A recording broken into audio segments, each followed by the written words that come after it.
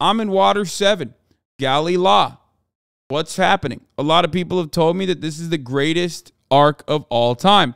Now, I think this is probably where I'm going to deviate from some of the other One Piece enjoyers because some of you have told me that I will eventually like Usopp. Unfortunately, though, I have not reached that territory yet. I mean, I think Usopp, uh, you know, I just, there's going to be a little bit of spoilers for Water 7 here, so I'm just letting you guys know. But because uh, you know this is this is a this is a One Piece update, so I have to give you uh, what's going on. So people have said this is their greatest arc. This is the most fun arc, honestly. Uh, you know, but it's a very emotional arc. I get the emotions behind the ship dying, the death of a home. Okay, this is not just their ship. This is like a friend. This is basically, you know, uh, an important part of One Piece. It's an important part of the Straw Hat group, right? And it's also not just like any ship, it's Usopp's girlfriend's ship, right? As you remember from earlier uh, sagas. So, like, it, it's, it's hard. It's hard to let it go, which is understanding. However, uh, which is understandable. However, Usopp's weakness has been uh, consistently annoying to me. Like, I feel like he's supposed to be like the Jar Jar Binks, you know, comedic relief. Like he's uh, he's like the George Santos, if you will. Uh, George Santos for One Piece fans who are in here watching me and not necessarily politics fans is a liar, a very famous liar. Okay, and Usopp is the George Santos of the Straw Hat Pirates. Okay, there's not a single person in here that's in that demographic. That's so that would be so funny if there was like a guy in here who's like, yeah, I just come in in the mornings to get the One Piece update, and I don't really care for politics, but like that's the only reason why I'm here. You know what I mean? Usopp brought the ship, which was huge, even though it was the weakest arc in my opinion. The Meowrobon was so boring, uh, and and definitely drawn out. Usopp, I'm sure, is going to have like more, especially with his dad, with his dad's connection to uh, Luffy's old pirate band. You know, the red haired pirates. That is going to come into play later on. But like, I just want him to have a gun.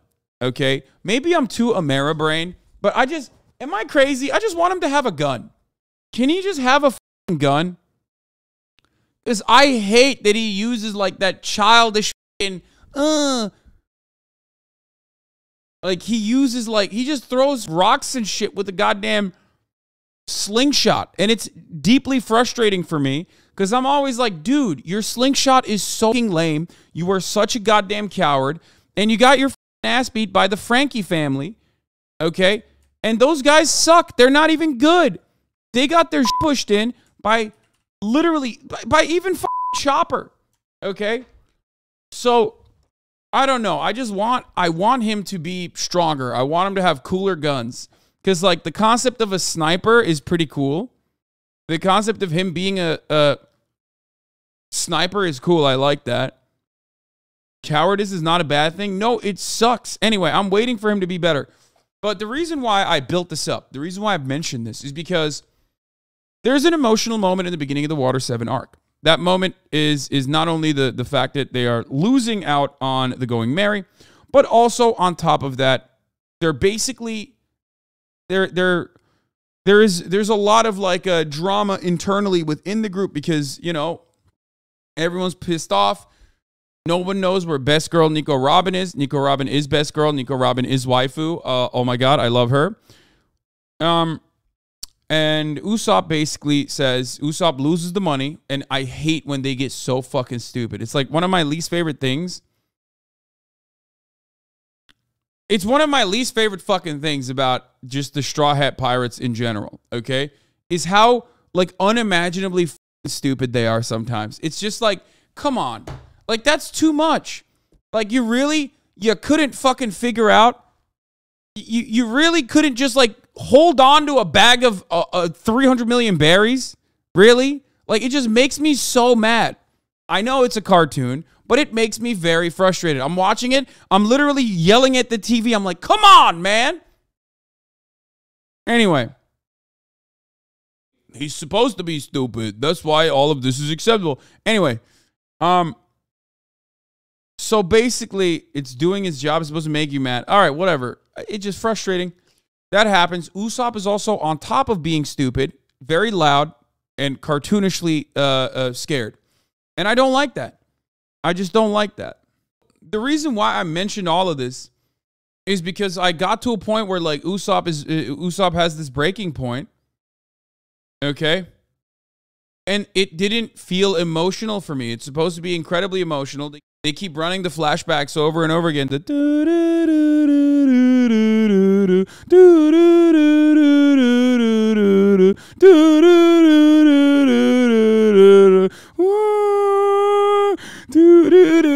Usopp! Like, and it's just like they're remembering. They're remembering all the beautiful moments they had together, all those fucking flashbacks, and I'm just like, I don't care. I just don't like this man. Get me to be sad about Usopp leaving. Anyway, basically, he, he you know, he got his shit pushed in by. He put up a strong fight against uh, uh, Luffy, much better than you expect, and then he leaves. And I just did not consider that to be sad. Like I just I could not get sad. Sanji is a great Sanji is a great funny character. Why? Because Sanji is powerful. He's like over the top horny, he's a major simp, and he goes fucking bananas over Nami and also Nico Robin and any other woman. And he's like stupid. He makes a lot of mistakes. He makes a lot of mistakes because of how horny he is. Okay? But ultimately, he is like very powerful. he's he's just good. He's very good at uh, at, at what he needs to do. He's the best at fucking cooking and he's the best at like uh, kicking. Okay, cooking and kicking. I love that.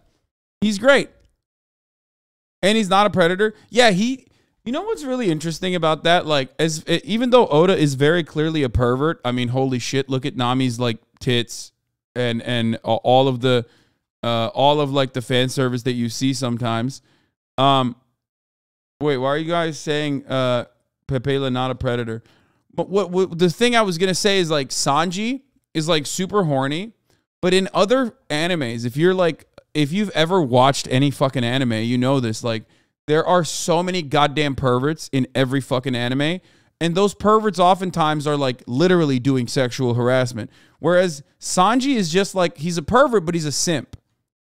Like he doesn't broach into like, and maybe I'm wrong, but clueless Sanji's not a predator. Oh, maybe I'm wrong. Maybe I'm wrong. Maybe I'm wrong. But watching up to this point in the story, he's a horny dude, but he doesn't like go beyond uh uh the the like he in comparison to how anime is. Let me just let me just uh rephrase this.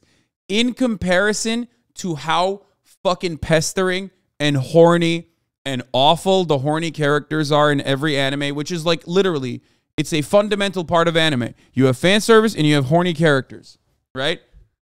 Especially, like, usually they're old too. Sanji comes across respectful in comparison to the average horny anime pervert that's like trying to fondle titties and shit. You know what I mean?